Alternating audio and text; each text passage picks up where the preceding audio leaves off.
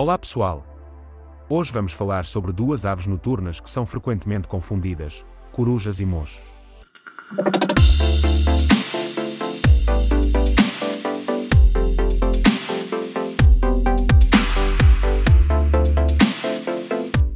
Apesar de parecidas à primeira vista, essas aves têm características distintas que as diferenciam.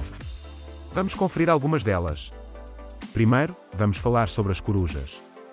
Elas têm um rosto achatado e redondo, com olhos grandes e expressivos que ajudam na sua visão noturna.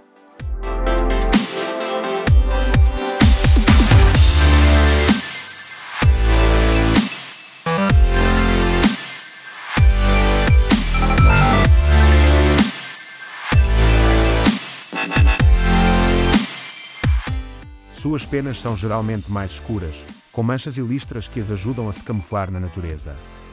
Além disso, as corujas têm asas largas e pontiagudas, que lhes permitem voar silenciosamente, sem fazer barulho.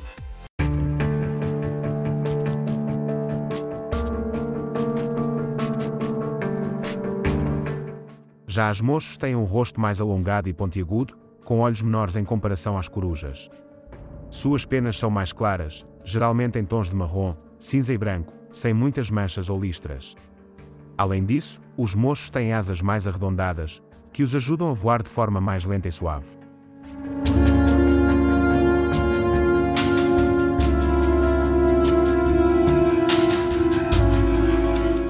Outra diferença importante entre as corujas e os mochos é o seu comportamento alimentar.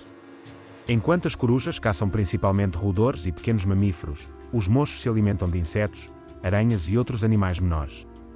Isso explica a diferença no formato de seus bicos. As corujas têm bicos curvos e afiados, enquanto os mochos têm bicos mais retos e suaves.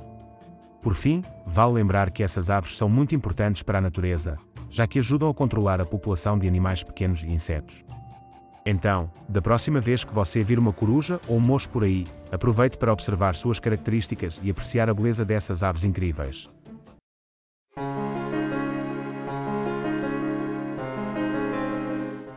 Espero que tenha gostado do vídeo e aprendido mais sobre as diferenças entre corujas e mochos. Até a próxima!